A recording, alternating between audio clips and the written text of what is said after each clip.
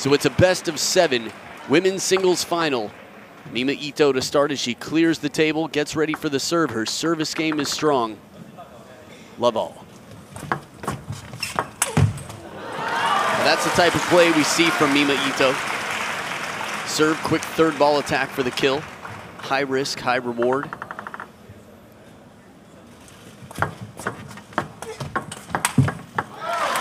But when she's kept deep on the table, as we saw yesterday with Miu Hirano, it's going to decrease the percentages of these flatter shots.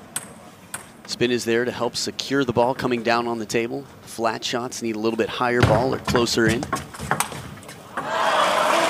Good pressure from Wang Yidi, hasn't dropped a point yet. Serve or receive, Coach Matsuzaki. That's Taisuke Matsuzaki in the back there. Guo Yan, former national team player. Forced into the spin game. It's going to be tough for Ito. Steps around for the forehand. When she steps around, we often see her drive the ball deep to the backhand corner. But as soon as it's something lukewarm, not bullet speed, it comes back it.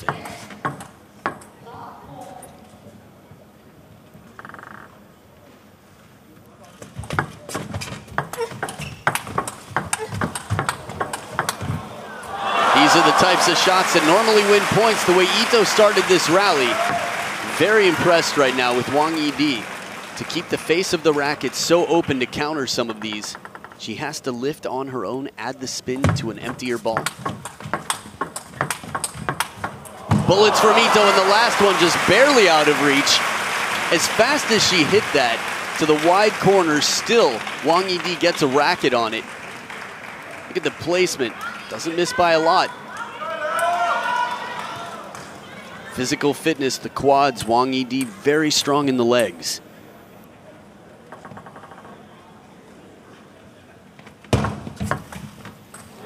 Strawberry goes long. Ito can play that strawberry all over the table. That's one of her great strengths is her, not only her serve, but her receive game. Mixing up side spins, varying the amount of under or top spin.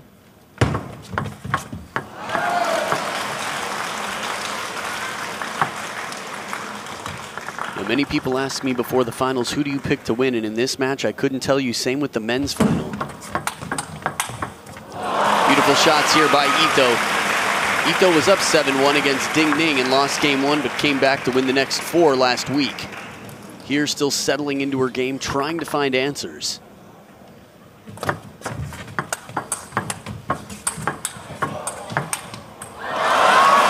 This is pretty much the best Ito can do once she's pushed back behind the table. Of course she can win the point, but short stroke forehand tries to make her way back into the table. It's going to be a lot of conversation between games if this one ends soon. The surprise factor is going to have to be high. Ito plays that right down the line, but shows where she's going, and Wang Yidi's right there for the counter.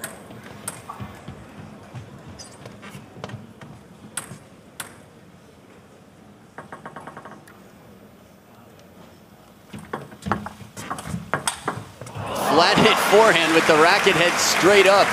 This looks like a Masato Shiono counterattack. Very unusual there, just a slapping shot. She was high-fiving somebody, herself maybe, for winning that point in the process.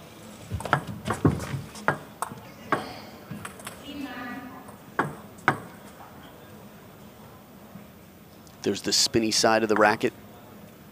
Forehand for Mima Ito, the black side. Seven game points to start off with some momentum. Wang Yidi on the receive. Wow, what a receive. What did she do to that? I'm still trying to figure out what Mima Ito did on the serve. Wang Yidi not fooled at all, picks her place on the table, gets creative, fancily receives and takes game one 11 to 3. My goodness. Well, we'll be back for game number two of the women's singles final coming up right after this.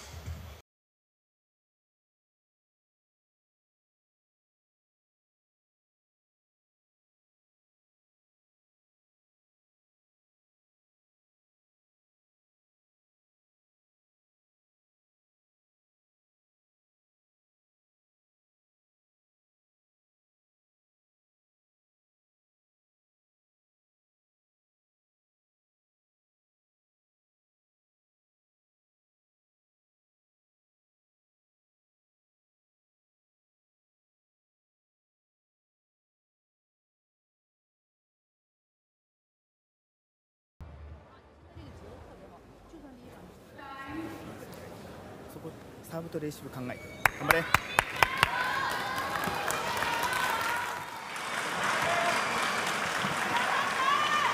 Players back for game number two as Mima Ito grabs her racket. Again, game-wise, we saw this happen to Miu Hirano 2017. She beat three of the top four Chinese players and therefore three of the top four players in the world, only to be studied and silenced. Will the same thing happen to Mima Ito? We had a chance to see that replay over the table with that backhand punch. A little wiggle after motion. Reminded me of a Waldner shot that I've seen from every angle.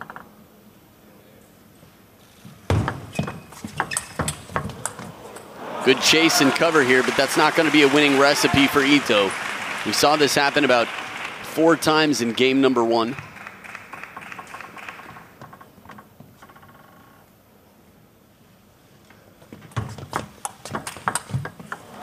Much better gets Wang Yidi behind the table. Fast long serve, some bold play in the service game. Still there are about five or six serves we've seen this tournament from Ito that we haven't seen yet. But that scorpion tail serve, we get a lot of missed receives. Wang Yidi has been very focused. This is the beauty of how easy it is to access media of the top players, videos online, not to mention the video library that different teams have.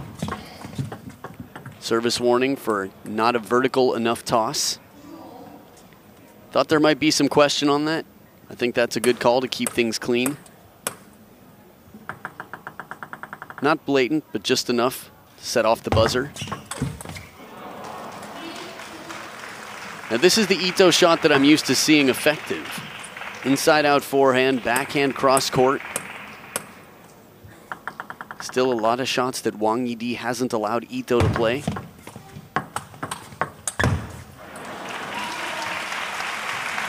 It's funny, the last two points both went to the opposite player, despite the player having a decent shot at the end. Just missing. Three points apiece. Mima Ito already tied her score from game number one. It's a best of seven, but getting in early again for Ito will be very, very important.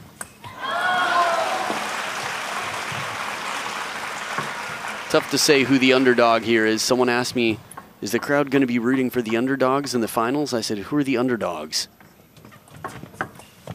There it is, the kick serve topspin. It's tough to read if you notice the topspin right before you contact it. There's not time to change the angle of your racket, as you just saw.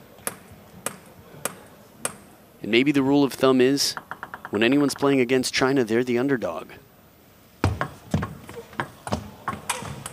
Oh, what a great setup. So much side spin on that strawberry. Still no clear definition in terms of how much topspin needs to be on it for the strawberry, but same side rotation. Edge of the racket here, tied up again.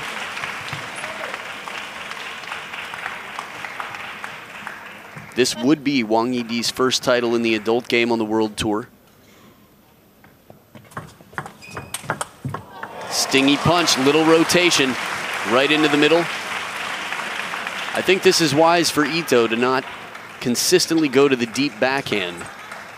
Picking the middle from time to time, mixing it up, keep Wang Yidi guessing a bit. It's going to be a very important ingredient here, the surprise factor.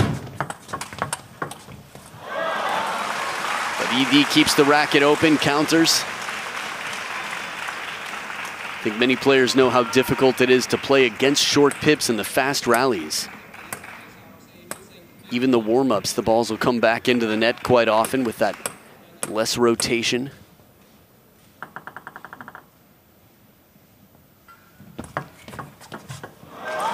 Ito missing the contact here. Wang Yidi's service toss She's pretty much sticking to the game plan here. Quite borderline. Hasn't been a problem since the warning before, though. Not yet.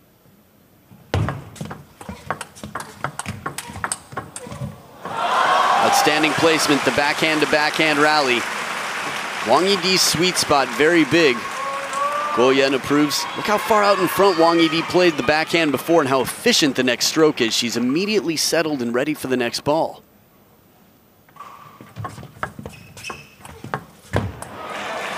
Not too common we see the spinny one sneak past. Ito keeping it low to the net. Heavy spin there, the cameras. Both sides.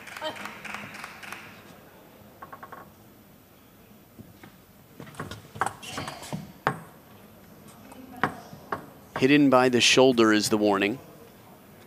Fair enough. Ball needs to be visible to the receiver at all times.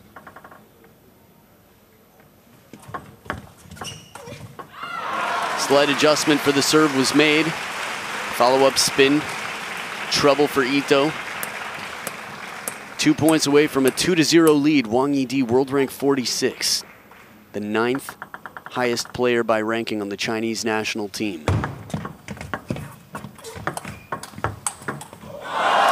Now think about that for just a moment. Number nine, He on the right, Sun Mingyang, Wu Yang, three of the other players of the Chinese national team watching from the crowd. Number nine playing the greatest threat to the Chinese on the Japanese team, the number two Japanese player.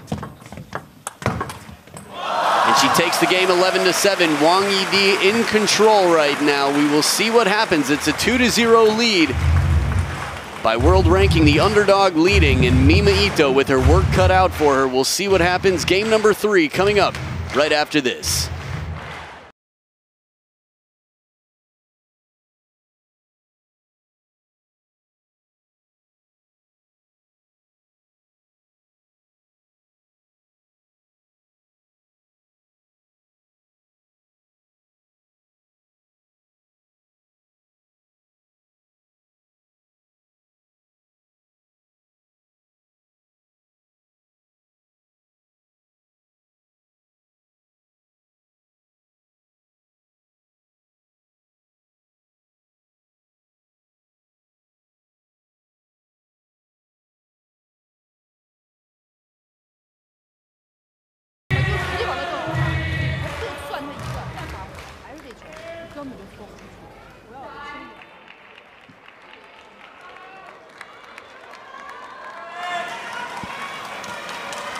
Back for game number three, the Japanese fans making their voices a bit more vocal here. Trying to make their presence known to be the wind beneath the wings of Mima Ito. For me, Mima Ito is the perfect example of a player who doesn't look imposing. She's not very tall, she's not completely ripped, but her timing is incredible. She's so fast. 78 kilometers per hour last week was the fastest shot until a few matches after. Mima Ito held the record for some time. I think I misspoke last week and said 76. Some people reminded me on social media. It's always so inspiring to watch the players here. Fans go back to the clubs and practice, try to imitate what they saw.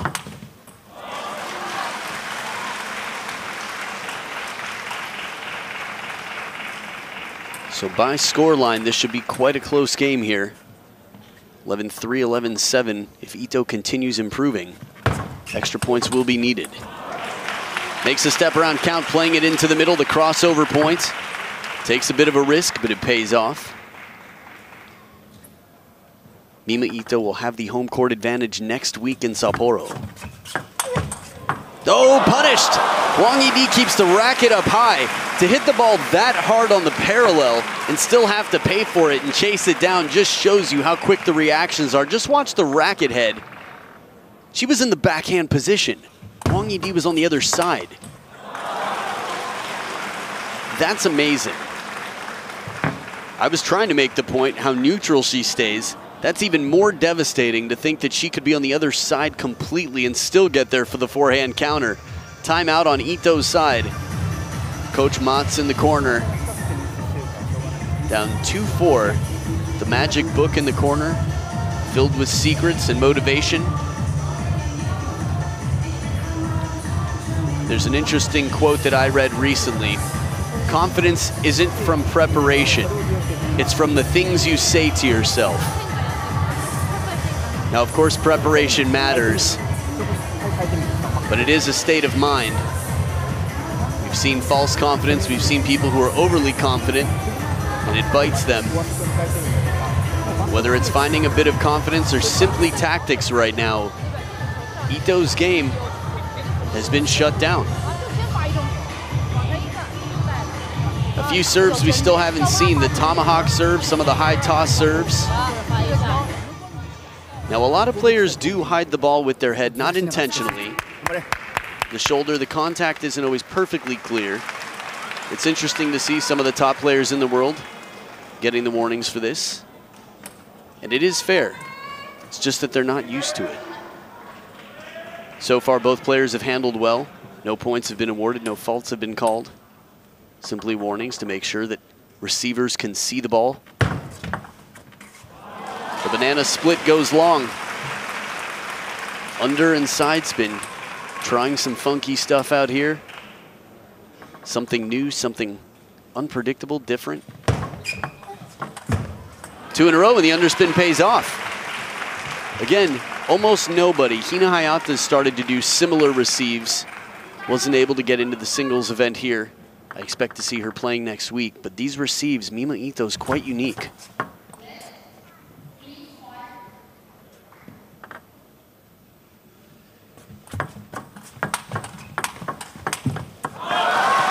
You can survive the first one and bring it back deep like Wang Yidi does, you can feel the next shot gets a little bit slower from Ito, and by the third ball, she's behind the table. It's more predictable, lower percentage.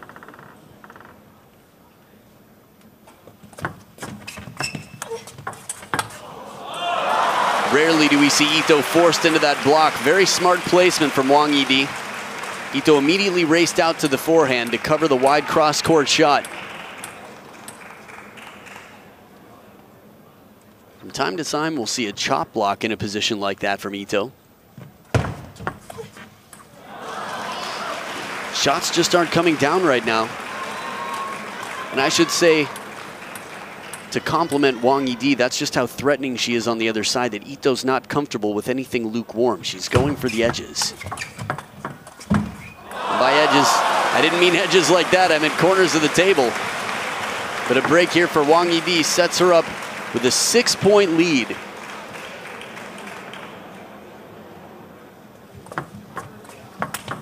There it is, a dismissive backhand to follow up on the pendulum serve. It's been a while since we've seen one of those rocket backhands win the point. Wang Yidi didn't even get the racket up. Still, she's leading by five. Same game plan here. You can see Ito trying to keep the pace up, not get into the rally at all. Six game points for Wang Yidi to secure a 3 to 0 lead. The banana split once again. It's that underspin that's so unusual. Whether it's straight side, light under, with the side, it's tough to find a practice partner to feed that to you. Nobody's doing it. One game point saved, five to go. And the counter, Wang Yidi right there on the forehand to bring it back quickly. 11 to 5, a 3 to 0 lead, one game away from her first title in the seniors game, the adult game, and over a very worthy opponent. Uphill battle for Mima Ito. Game four continues right after this.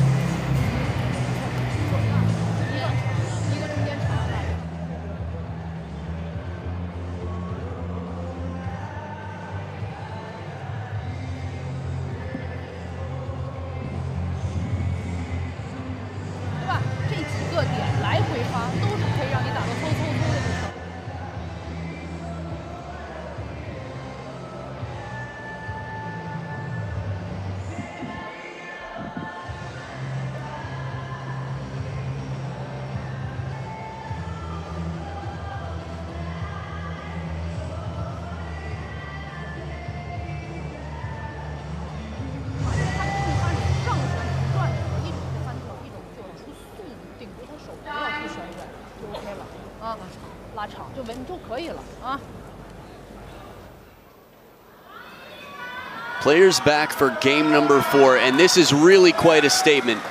There are times that the rest of the world gets hope, gets inspiration to see other players outside of China being a threat to challenge the Chinese domination.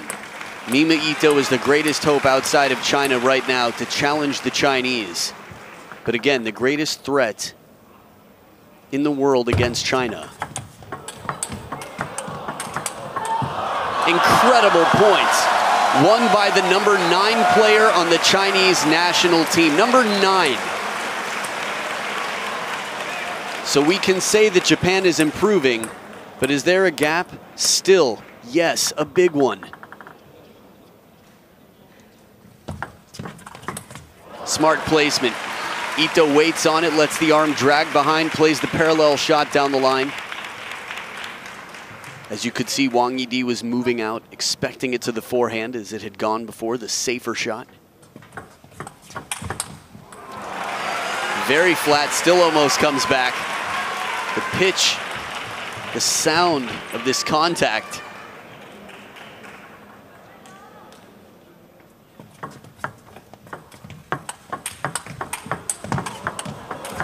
Merciless backhands. Right now, she's at volume 10. She's turned up to full speed on pretty much every shot. She's relentless. She can't let it go. As soon as she softens up for a moment, Wang Yidi takes control of the point. It's going to have to be four games of something similar to this. But as the match develops, tactics will change. As the opponent's game changes, Wang Yidi will start adjusting. Hey, it's Kevin from Los Angeles. It's pretty cool. Used to play table tennis with him. A beautiful shot. Wang Yidi keeps Mima Ito behind the table. Fans impressed here. Again, Wang Yidi with more support. Ball sits up a little bit, allows the time for the turn. In near the table, if it's over the table, if it's low enough, change of pace can be very effective. Outright service point. Only the second one I think that I can recall for Ito, considering they've already played three and a half games. That means Wang Yidi's receives are very strong. She came to the table prepared again. Even Miu Hirano had trouble receiving some of these serves. Not as much as most, though.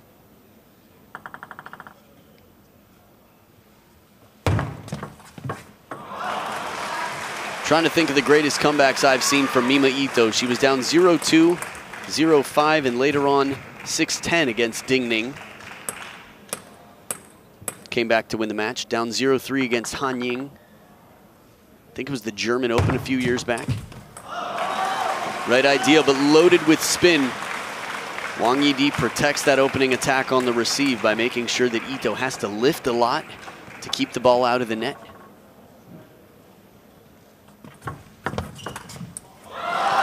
And the punching receive deep to the backhand. Wang Yidi, three points ahead.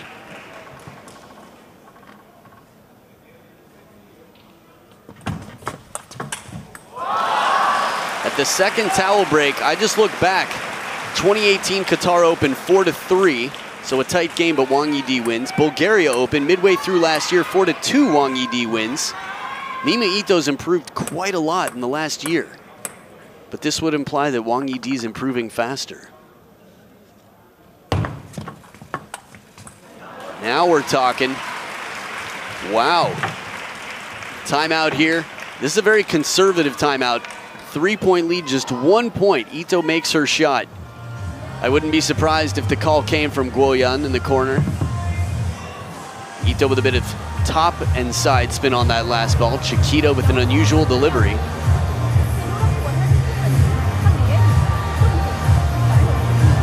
Haven't been seeing Guo Guoyun coaching for so long, only recently. But she's been in the corner with a lot of success. It's always interesting to compare the men's and women's games. Kasumi Ishikawa was interviewed after being beaten by Wang Yidi. She said, as the top player of Japan, if I'm being beaten by the young players of China, I've got a lot of work to do with the Olympics coming up. She's clearly disappointed, feels the pressure, and understands the reality of how strong the Chinese players are. There will only be two Chinese players in the women's singles event representing any national flag or any national association. You will only see two players in singles. Will it be Kasumi and Mima for Japan? Will it be Ding Ning? And who knows for China? Chen Meng? Liu Shiwen still campaigning after winning the World Championships. The very impressive performance to show not only some courage but mental strength. We'll see. Back from the timeout, Wang Yidi with her second serve. Ito handles the point so well from the start. A serve right at the baseline makes it tougher, tougher for her to make her low percentage opening shots. Again, this is what we saw from Miu Hirano. High toss serve and the spinny backhand. Tough to read how much spin is on it off the short pips, but spinnier than usual from Ito.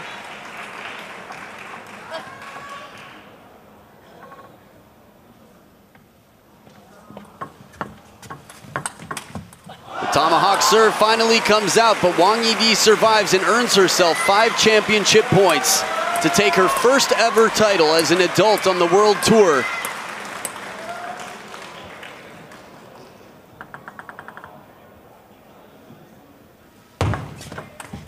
And the step around goes long. Wang Yidi 4 to 0 over the greatest threat to the Chinese women Mima Ito, congratulations, Wang Yidi. Japan has a lot of work cut out for them right now in the women's game.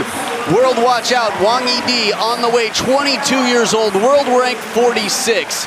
And she takes her first ever adult title on the world tour. Big high five. The smiles finally come out. And she has clocked out for work today. Lee Ho Ching, Kasumi Ishikawa, Saki Shibata, Cheng I-ching, and now Mima Ito all in the same group labeled players that Wang Yidi had no trouble with, that she defeated. That's a strong group of opponents. Wang Yidi, again, for a 22-year-old world rank 46, has proved herself quite worthy of a very bright future. Three, seven, five, and six. My goodness, that's barely over five points. 5.25 points a game on average for Ito. This is almost revenge for Zhu Yuling in the Swedish Open final. We'll stick around. We'll be back for the awards ceremony of the women's singles. Stay right here. It's coming up right after this.